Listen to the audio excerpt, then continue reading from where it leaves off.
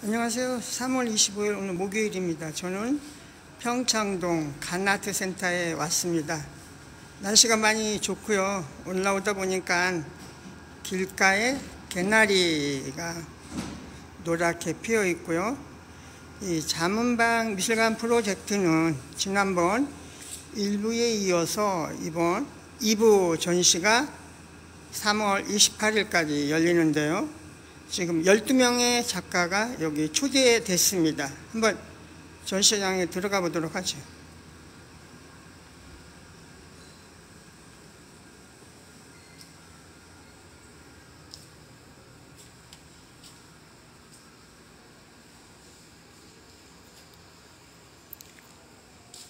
이 자문박 미술관 프로젝트는 자문박 이쪽에 부암동, 구기동, 홍지동, 신영동, 평창동 이렇게 다섯 개 동을 묶어서 잔문방 미술관으로 엮어서 큰 프로젝트가 진행되고 있고요. 여기에는 많은 미술 예술인들이 살고 있습니다. 그래서 지난번에 종로 구하고 여기에 작가들하고 또 이걸 주관하는 잔문박 포럼에서 주관해서 MOU를 맺어가지고요. 여기 살고 계신던 김창열, 김구림, 뭐 이양성 이런 분들은 살고 있었던 집을 가지고 기념미술관을 만들고 여기에 어, 최종태, 박서보 선생님 같은 경우도 이쪽에 미술관을 짓는 거를 MOU를 맺었죠. 거기에 어떤 하나의 또 일환이기도 한데요.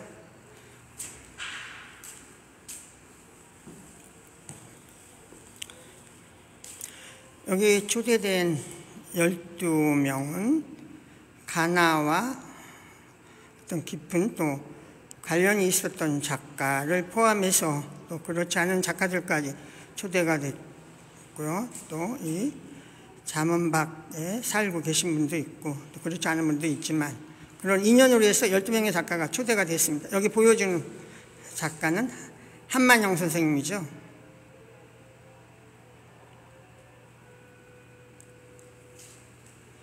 일상의 사물들을 모아서 과거와 현재를 연결시켜서 작품을 보여주고 있습니다.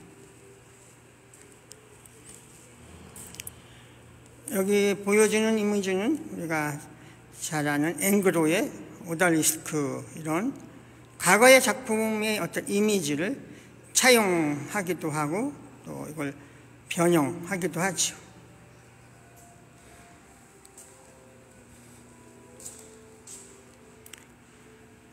80년대 가장 현실과 발언해서 활동을 많이 했던 이목상 선생님의 작품이네요. 노동자와 일꾼들의 건강한 삶의 모습을 담아내고 있습니다.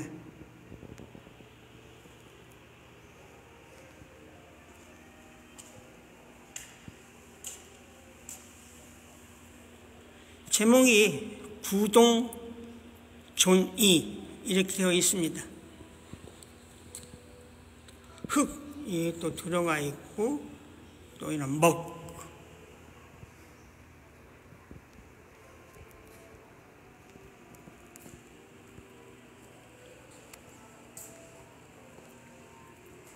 이목생 수석은 예수는 사람들 곁에 있어야 하고 함께 해야 한다고 믿었다. 이제 소통의 시대, 대화의 시대이다. 이렇게 이야기하고 있습니다.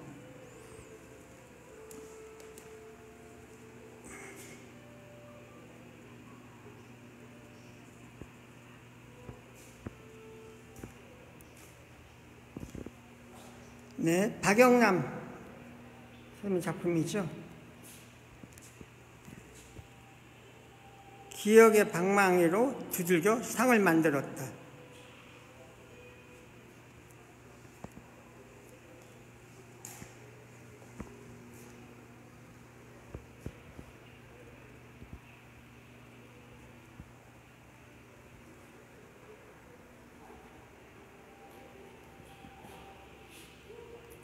네, 박영양 선생님.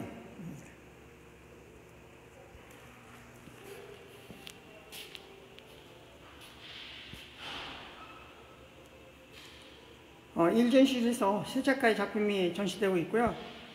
이 전시실로 올라가 보도록 하죠.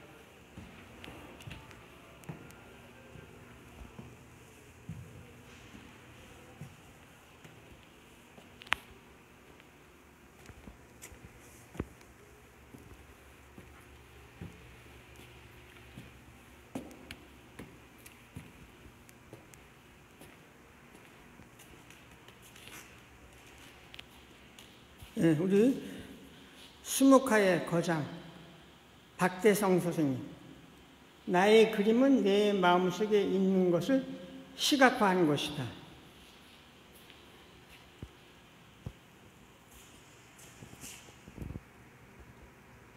지금 경주에서 활동하고 계시고요. 그 경주 솔고 미술관에 많은 작품이 기증되어 있어서 거기서 큰 상설 전시장을 가지고 계시기도 하죠.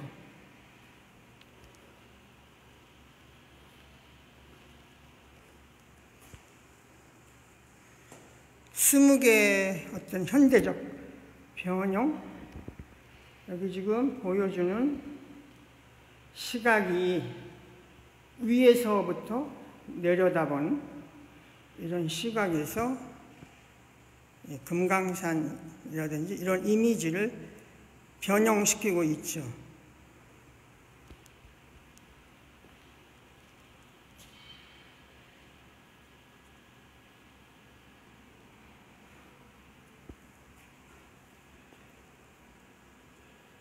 네, 박항률 선생님 고요한 어떤 사색의 깊은 기품 자연 속에 어우러진 인간의 모습 바로 그것이 명상의 화두이다.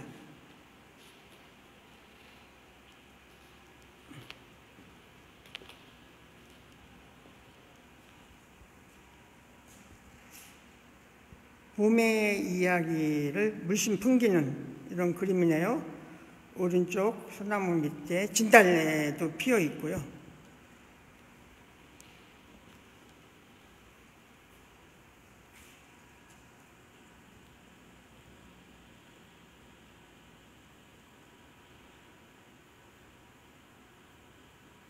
과거 우리 고향 어떤 시골에 대한 풍경 이런 것이 주관화되어 있죠.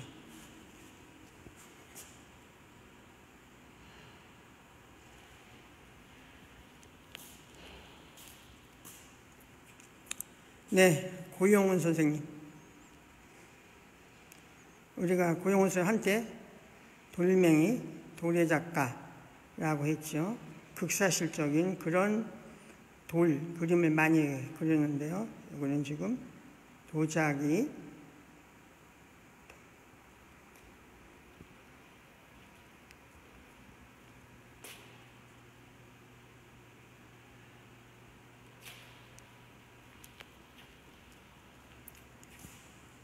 요새 많은 사람들이 좋아하고 달 항아리 이런 그림들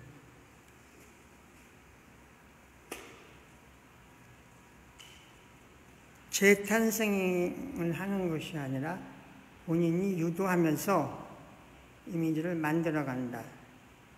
이렇게 이야기하고 있습니다.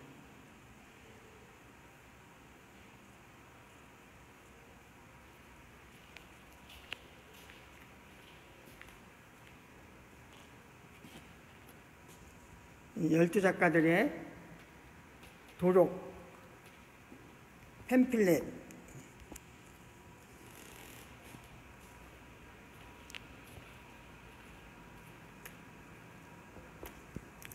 자문박 미술관 프로젝트는 첫째 기념관, 자문박 소재 작가의 자택을 미술 자료관으로 활용, 둘째 미술관, 종로구 구유지의 한국 근현대 화단을 대표하는 거장들의 미술관을 설립, 예를 들어서 최종태, 박소보 선생님이 여기에 해당이 되겠죠. 셋째, 아틀리에 미술관, 자문박 소재 작가 아틀리에를 향후 미술관 등 문화유산으로 활용하겠다. 이런 구체적인 방안을 가지고 움직이고 있습니다.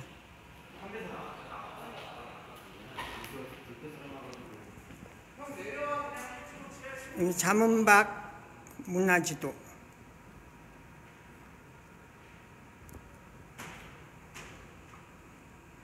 여기는 그 다섯 개의 동이 벨트를 이루고 있죠.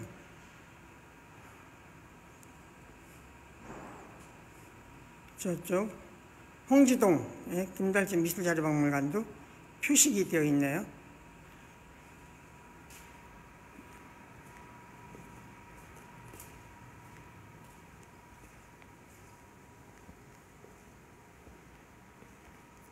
네, 이원희 선생님.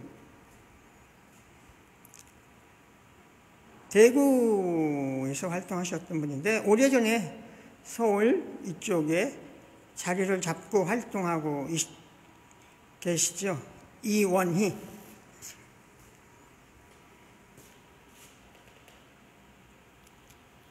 이원희 선생님은 또 인물초상으로도 유명하죠. 그리고 반, 반기문 선생님.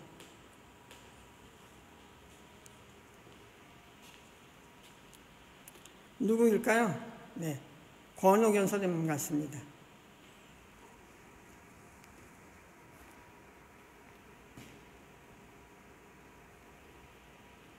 저 보이는 이미지는 전광영 선생님인데요.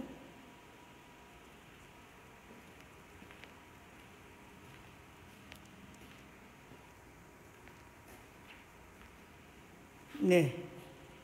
입에 뭐 수세 작가 이렇게 얘기하죠.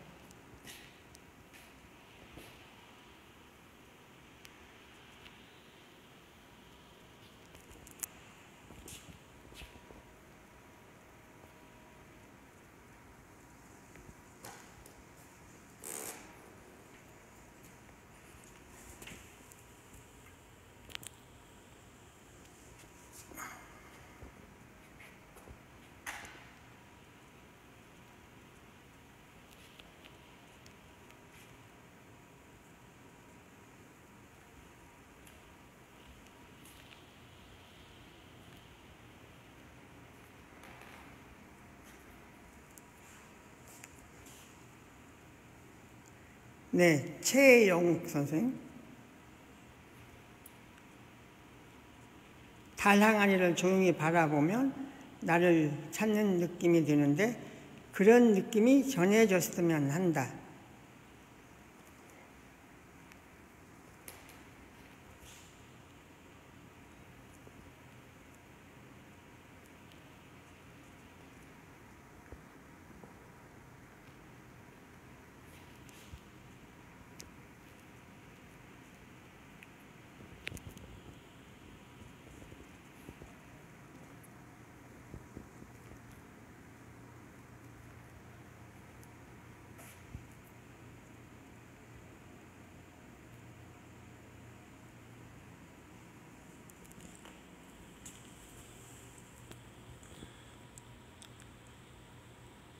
네, 달 항아리에 어떤 빈혈이라고 얘기를 하나요? 이런 것을 굉장히 꼼꼼하게 표현해내고 있습니다.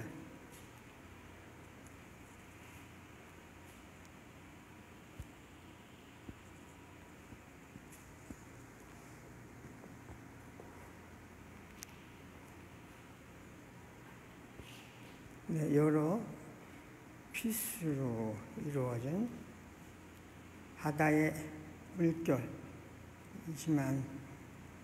주관을 되죠. 이 작품 안규철 선생님의 작품입니다.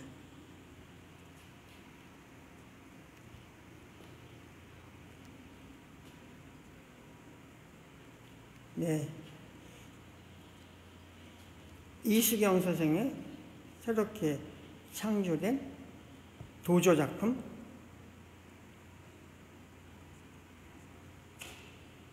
전통을 향한 탐색을 그치지 않게 전통 자체에 갇히지 않는 예술가의 모습을 담고자 한다.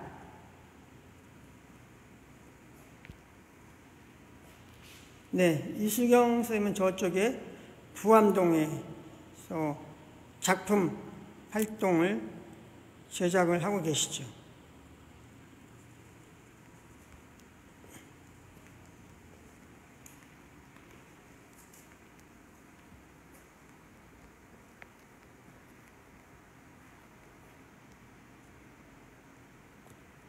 네, 전병현.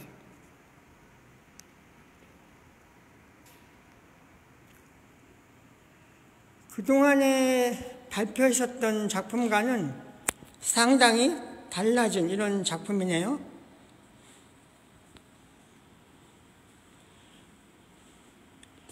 평면 작품과 어떤 입체 작품의 결합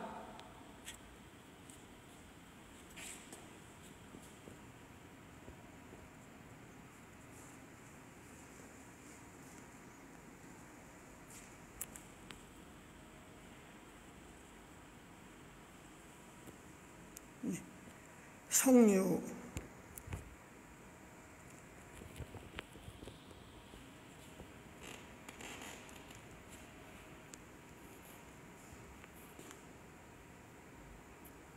네.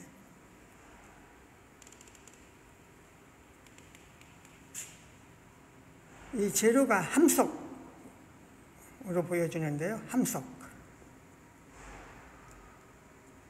우리가 뭐 함석 양철이라고 하는 것 같은데요.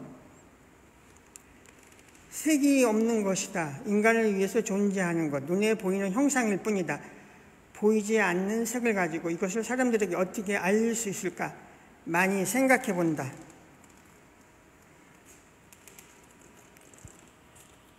열두 명의 작품을 보면서 전병현 선생님의 이번 작품이 가장 본인이 지금까지 보여 발표했었던 작품과는 어, 가장 달라진 이런 신작을 보여주고 있네요.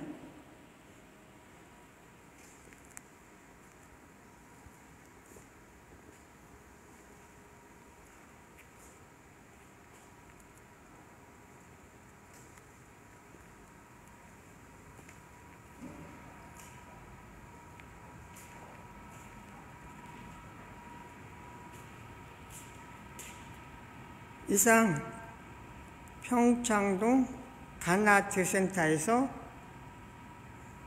김달진이 전해드렸습니다. 봄의 맑은 정기, 봄의 기운이 듬뿍 느껴집니다.